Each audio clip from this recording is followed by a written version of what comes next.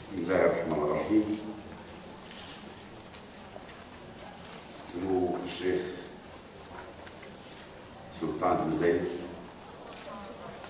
أصحاب السمو أصحاب المعالي والسعادة ضيوف أصيل الكرام حضرات السيدات والسادة يسعدني باسم مجلس بلدية أصيلة الذي أتشرف برئاسته وباسم مؤسسة منتدى أصيلة التي أناطت بمسؤولية أمانتها العامة.